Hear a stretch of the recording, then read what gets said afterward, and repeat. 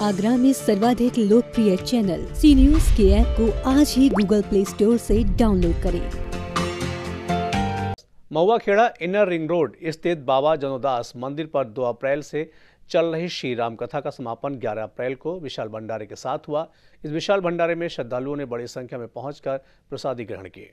धर्म, आस्था और संस्कार हमारी धार्मिक और सांस्कृतिक धरोहर है, जो हमारे प्राचीन रीत रिवाजों को आज भी ज़िंदा रखे हुए हैं। इसी कड़ी में Mahua Khera, inner ring road स्थित बाबा जदोदास मंदिर पर श्री राम कथा का आयोजन किया गया, जो 2 अप्रैल से चल रही है। श्री राम कथा का समापन 11 अप्रैल को विशाल भंडारे के साथ हुआ। इस विशाल भंडारे में श्रद्धालुओं ने बड़ी संख्या में पहुँच प्रसादी ग्रहण की। देखिए साहब, ये महुआ खेड़ा में जो जादोदास बाबा का मंदिर है, रघुनाथ रघुनाथ जी के नाम से मंदिर है और ये इस पर 2 अप्रैल से श्री राम कथा विष्णु चैतन्य जी के श्री मुखारबिंद से शुरुआत हुई और ये 10 अप्रैल को समापन हुआ और आज 11 अप्रैल को इसका एक विशाल भंडारा है।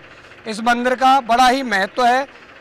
400-500 साल पुराना ये मंदिर और हमारे क्षेत्र के लिए एक वरदान का रूप बना हुआ है। अ, हर साल इस बाबा जादव के आश्रम पे आयोजन क्षेत्रवासियों की तरफ़ से किया जाता है। बड़े हर्षोल्लास से इस कार्य को किया जाता है। क्षेत्र की जनता विश्वास रखती है बाबा जादव से। और ये विश्वास नहीं, पूरा अस्वस्थ लोग रहते हैं कि किसी भी प्रकार की कभी भी हानि नहीं हुई है। किसी भी प्रकार की कोई भी दुर्घटना होती है, बाबा जदास की मेहरबानी से वो आदमी बचता है। उसका कोई भी हानि होने से पहले बाबा का नाम लेते हैं। और जो बाबा का नाम लेकर कोई भी काम किया जाता है, वो शुभ होता है। इससे हमारे क्षेत्र को बड़ा विश्वास पैदा हुआ है।